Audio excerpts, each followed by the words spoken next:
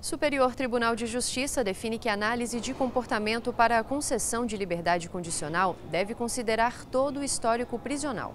Em julgamento sob o rito dos recursos especiais repetitivos, a terceira sessão do STJ, ao julgar o tema 1161, definiu a tese de que, para a concessão do livramento condicional, a valoração do requisito de bom comportamento durante a execução da pena deve considerar todo o histórico prisional, não estando limitada ao período de 12 meses previsto pelo artigo 83, inciso 3, a linha B do Código Penal. O relator dos recursos repetitivos, ministro Ribeiro Dantas, explicou que a Lei 13.964 de 2019, conhecida como o pacote anticrime, ao alterar o Código Penal, ampliou os requisitos para a concessão do livramento condicional, a exemplo da comprovação de bom comportamento durante a execução da pena e o não cometimento de falta grave nos últimos 12 meses. De acordo com o relator, a ausência de falta grave durante este período é um pressuposto objetivo para a concessão do livramento condicional e, portanto, não limita a análise do quesito subjetivo de bom comportamento.